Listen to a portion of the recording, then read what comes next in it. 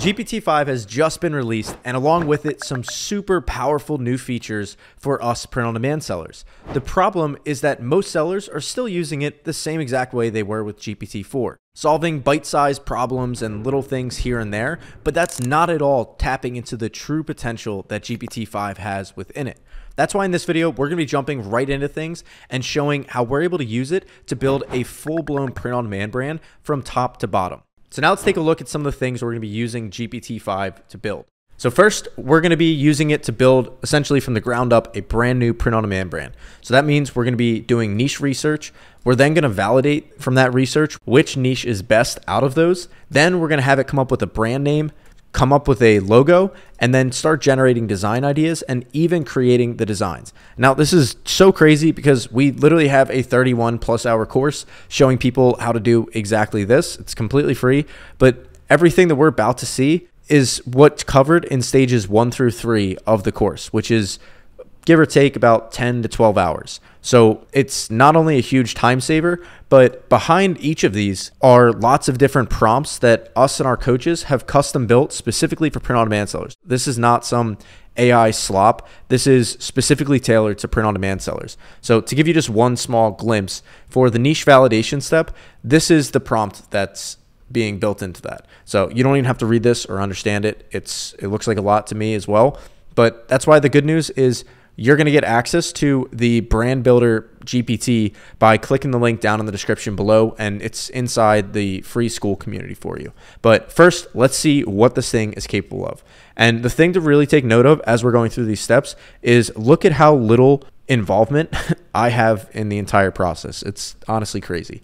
So, first off, we start with step number one, which is niche research. And you'll see when you log into the GPT that you're able to prompt it to start from a lot of different points, but it's designed to literally start from the very beginning all the way through to the end of building a brand. That's where I got started for the sake of this video. So I asked it to pick a print on demand niche for me.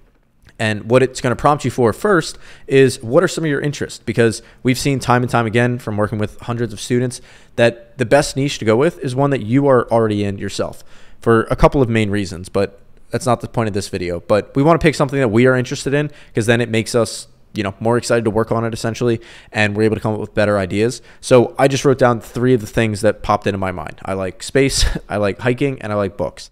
Then what it spits out again from its print on demand domain expertise is it researches 10 profitable pod niches related to my interests for 2025 and it's evaluating it on three main categories. So first is recent trends Next is best selling products. And then third is competitor analysis. So what it's basically looking at is is this thing relevant right now? Are there best selling products that are out there in the market that we're able to learn something from? Or does it kind of feel like we'd be grasping at straws if we went this direction? And then third is what's the competition doing? First and foremost, is there any competition? Because if there's not, it's not really a good sign for the niche.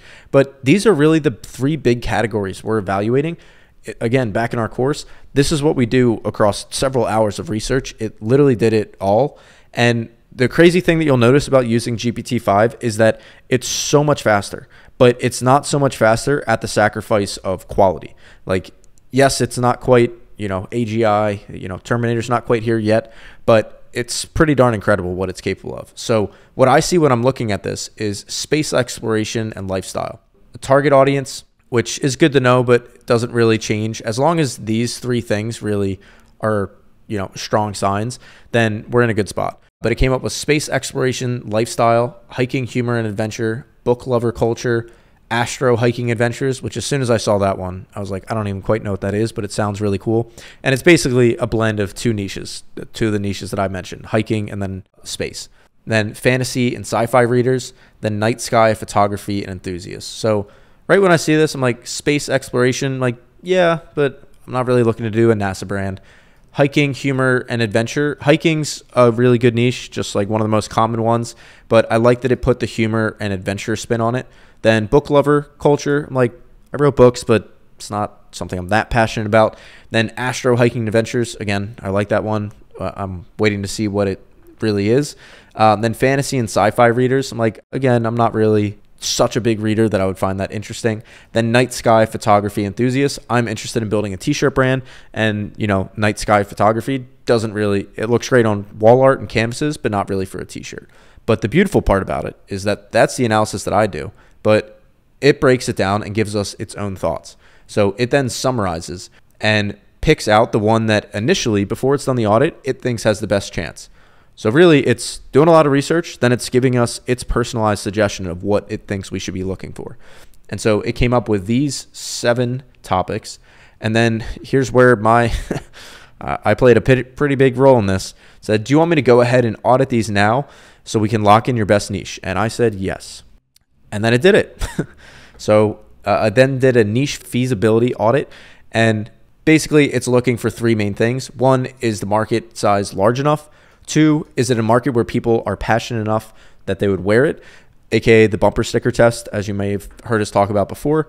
And then step three is feasibility and monetization. So, feasibility being is there IP risks? Like, in order for us to really dominate this niche, we need to be doing like movies or song titles or, you know, copyrighted works.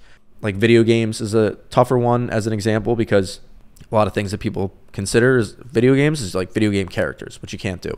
So it's analyzing all that for us. And then finally is monetization. Is it a market that one, people have at least some disposable income, and two, they would be willing to dispose of some of that income in the name of their niche? Those are the things that it's looking for. And as you can see here, it quickly ruled out fantasy and sci fi readers.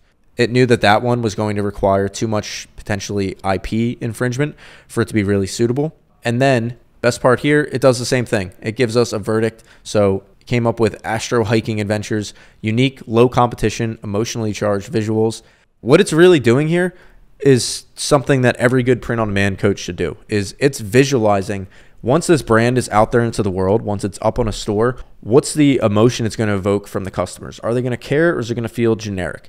And two, are the designs we're able to make really striking and vibrant or are they things that kind of blend in and you know, nobody would really be that interested in them. And then third, is it something that there's a ton of competition? Again, we're just going to blend into the masses, or do we have a real chance to stand out here? And that's how it came to Astro Hiking Adventures, and it gave me it as the final suggestion here. And so again, I played my super important role in this whole equation, and I said yes.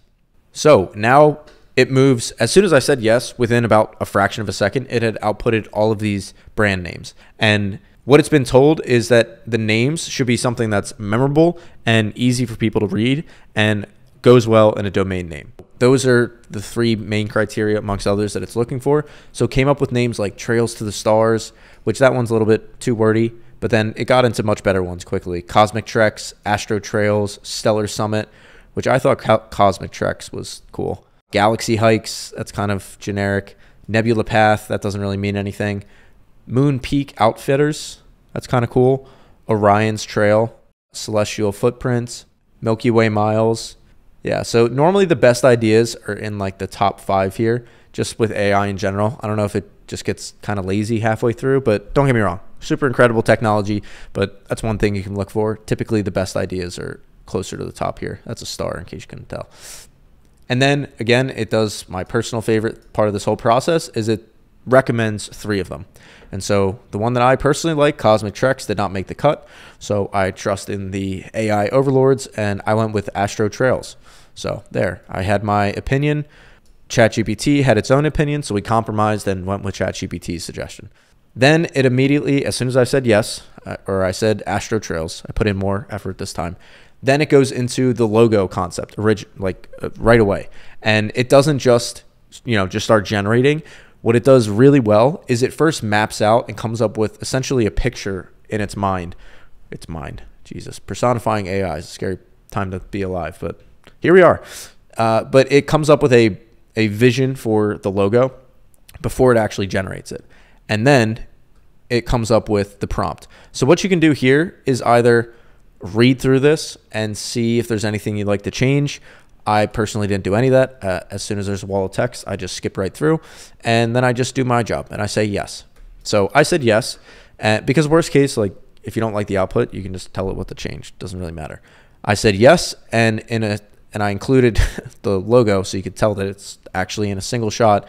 In a single shot, it generated this, which the reason I love this is the name is super high contrast, very easy to read it's almost built in as like a favicon, meaning like the little thing in somebody's browser window, like the little logo that shows up there, it's already formatted to like go well like that. Opposed to some logos I see, they're like either super drawn out or they're like stacked on top of each other. And while they can work, it's just not good for all formats. So it gave us a super easy to work with logo that's simple enough that it doesn't overwhelm or distract from you know the designs on the site, but it's also you know aesthetically pleasing enough that it actually looks cool and it it kind of sets the tone for the overall brand. And then right from the logo, literally after it generated this, it didn't even wait for me to say like good or bad. It kind of learned that I was just saying yes, and it started researching designs. And this is where things get really interesting because this is where it's using the design research training that we teach all the time, which is looking for visual styles and colors, popular motifs, I never use that word, but like essentially phrases and quotes, and emotional resonance. And then finally, the print style. To put it in layman's terms, my terms, it's basically what colors are people using, what are the phrases that are in the designs, what kind of uh, emotion does it evoke when somebody looks at it? Like, is it factual? Like, oh, there it is. Is it emotional? Like, it just draws you in? Is it humorous? Like, that kind of thing. And then finally is the print style, which you could think of this as kind of synonymous to art style. Like, print style comes from what type of machine is being used to print the t shirt or print the design on the t-shirt. That's where it like technically comes from but the way ai translates that is into the art style. So like a dtg direct to garment machine has a different kind of like sheen or like style to the ink when it's applied to the shirt opposed to like a screen print. It more like fades into the fabric. Like just as an example it's taking that and it actually becomes a really powerful variable to play with in our prompt formulas and so it came up with a couple of different trends like cosmic landscapes astronaut adventurers, which this is one that I've seen a lot of times, like especially on uh, like into the AM. They have a like one of their all-time top sellers or like collection of designs is like astronaut adventures, like hiking or in like a desert moonscape. It, it's pretty cool. Then star map trails, retro space travel posters, which we're just going with t-shirts, glow in the dark elements, which we can't really do, and then surreal mashups. So out of these, it came up with three. And again, this entire flow took me, it's taking me five times as long to explain it as it did to actually do this. So, point being, you can always go back and just do it again. Then I say create the prompts, and then it outputs prompts that are pulling from these ideas. So, these ideas up here, it's then turning them into okay, how can we generate a prompt that would create a design that's like that? not going to read through all the prompts, but here's just 10 of them. And of course, you could just sit here and ask it to generate 10 more, 10 more. And then down here, here's the very first design. This is step six. It generates the designs and it's taking the prompts that we see above and then actually generating them right from within the chat, which end to end, what we've just accomplished or what I was bystander to as it accomplished it is we went from no idea what niche we were going to sell to. We validated the niche. We then generated the logo, generated the brand name, it did an exceptional job on literally the first pass, and then it went right into okay, like we know who we are, we know who we're selling to. Now let's figure out what we're selling. Now, obviously, this step here, where I would recommend continuing from, is have it generate times 10 designs, 10 initial designs, and then pick out out of the 10, there's probably like three that it really nails. If not, you know, it, there might be a, a couple more there's probably going to be two that you're like, meh, just flatline, like take it or leave it. Then there might be five that are just like AI slop and just garbage that you don't want to work with. But that's okay because what GPT-5 also does really well is it does a good job of learning from the feedback that you provided. And this is where a lot of people fundamentally just misuse AI. They use it like a tool opposed to a co-pilot or somebody on your team that you're able to coach. It is not just a tool like Canva. Canva, you tell it what it did wrong, it doesn't care. It, it's Canva. But here, if you tell ChatGPT that, okay, you did a good job with these three, like really build up its confidence that when they take over the world, you know, we're, we're in good. And then these two were just okay. And then these five were really bad. And if you just bullet point out why each one was good, just a couple of words, like really good concept, great colors. And then over here, like very common ones that I see are the phrase doesn't make sense, very generic, too many colors, no negative space. Those are a lot of the common things that AI messes up with when it comes to generating designs. If you just reply with all that feedback into the same conversation and then have it generate 10 more design concepts and then actually generate from those prompts, it improves every time. And now it's not a direct translation like next time it's going to get four right, then five, then six, then upwards of 10. There is definitely a point of diminishing returns. So don't be shocked if you don't ever get to the point where it's, you know, 10 out of 10 are fantastic, but that's okay because we can literally just have it keep generating over and over again. So if you want to test this out, click the link down below. You can get access to the GPT brand builder goes through everything that we just covered and a lot more. And I'd love to see in the comments down below what you create. And again, the way you get access to it, click the link down below, join the free Skool community, and then search for the title of this video in the post, and you'll find access to the GPT. So thanks for watching. I'll see you in the next video.